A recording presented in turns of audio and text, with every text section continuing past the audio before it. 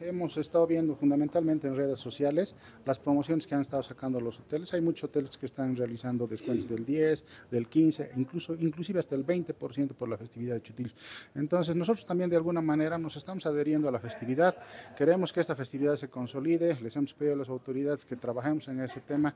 No se olviden que el turismo se gestiona fundamentalmente con un año de anticipación, mínimamente con seis meses. Entonces, a nosotros nos gustaría, como sector, principalmente ya tener la, por lo menos la definición de la fecha de la siguiente gestión, cuándo va a ser Chitich 2025, y en función a ello ya las agencias de viaje, los hoteles, podremos programar paquetes, eh, gestionar algún otro tipo de, de, convenio con algunos otros sectores, para tener certeza y poder vender fundamentalmente al turismo internacional, que es lo que más nos importa a nosotros. ¿Cuántas camas tiene de capacidad?